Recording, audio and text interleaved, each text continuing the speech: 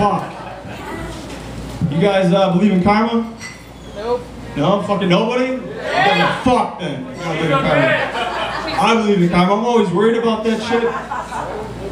Uh, I'm always worried about going up to like bums and making sure I give them money. Like if I don't, I'll get hit by a truck. Or like a bird will come shit on me. Or I'll turn into a zombie and eat his fucking face. Have you guys heard that fucking story?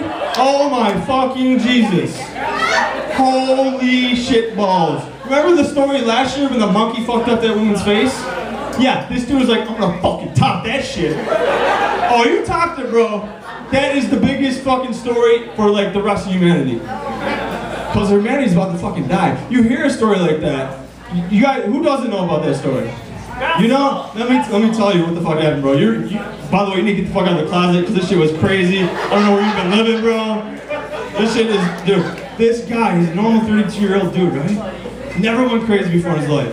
Got fucked up on some drugs, did some PCP or some fucking bath salts. I don't know.